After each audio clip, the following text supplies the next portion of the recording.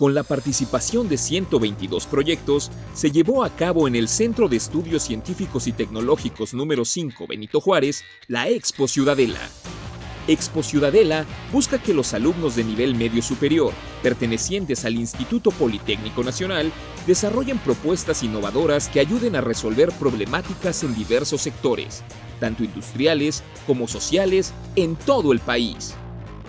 Los 90 proyectos de alumnos pertenecientes al plantel, así como los 32 de otras escuelas pertenecientes al IPN, dieron muestra de la creatividad e interés por ofrecer soluciones viables a algunos de los temas de actualidad que preocupan a los habitantes no solo de México, sino del mundo.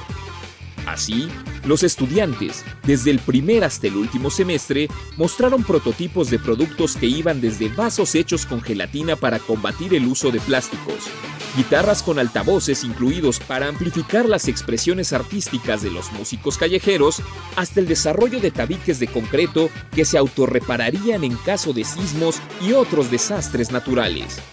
Asimismo, en el marco de esta Expo Ciudadela se inauguró también un elevador,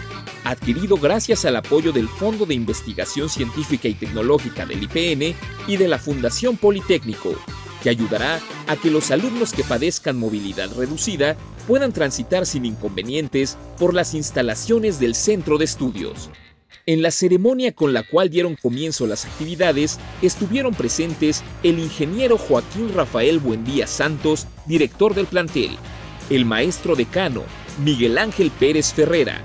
el licenciado Jesús Padilla Centeno, presidente del Consejo Directivo de Fundación Politécnico,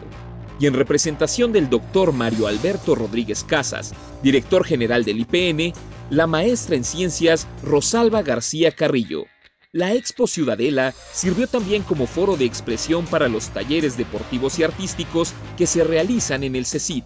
y también como punto de encuentro entre conferencistas y estudiantes para mejorar técnicas de aprendizaje y estudio.